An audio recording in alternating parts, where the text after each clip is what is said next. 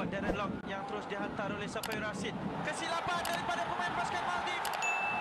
Orang yang take risk terus peluang itu oleh Darren Lock untuk menjadikan gol pertama. Bang.